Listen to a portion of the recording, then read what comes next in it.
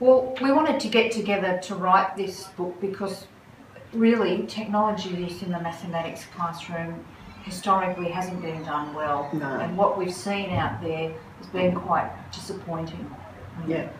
And I think um, a lot of pre-service teachers have the idea that technology use in maths is about sitting kids on computers and they do lots and lots of practice stuff.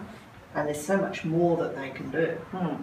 And we know that there's so many resources out there, but there's no easy way of accessing all of these resources and recognising which ones are useful and valuable and which ones are better left alone. Yeah, that's true. Yeah. Some of should be. Take, Yeah. for example, Hot Maths, Yeah. which does come with a, a, the text comes with a login for Yeah. that.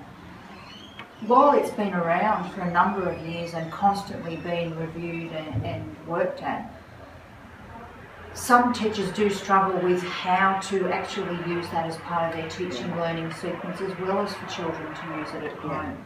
Yeah. So the book really does cover the use of HOTmaths and how to integrate it into the classroom on a daily basis. And, and other resources as well. I mean, there's so many good things out there now that can become really an integral part of your maths program. So you can't really think about teaching maths without them.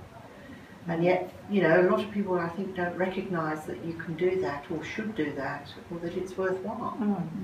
And some of them too, like have the potential to allow students to access maths a lot earlier and some of the maths Mm. concepts a lot earlier Mm. than you can couldn't be done before without the use of technology. Mm. So yeah, again coming back to what you said about being very limited, we can show that the, there's a variety of applications out there and they're not just apps or they're not just Mm. drill and practice activities, they're actually real tools that can help access some Yeah. quite challenging mathematics. Yeah, absolutely.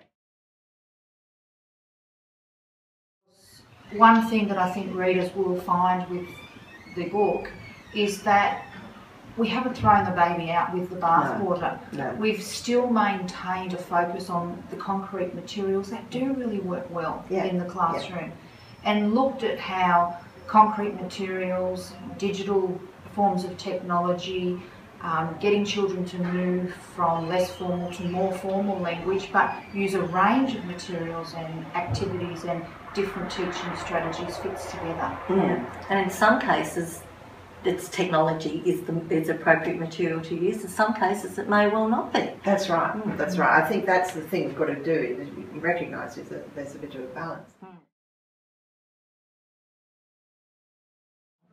We often hear the complaints, how can we fit this in mm. when we have all these other things Yes. to do? Mm.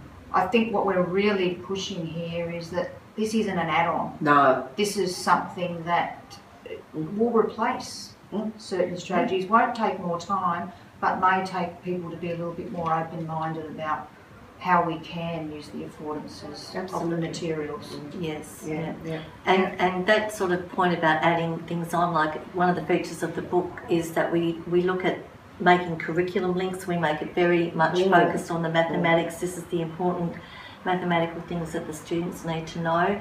Um, this is how it links with the curriculum, and this is how technology can help you achieve those outcomes. Yeah.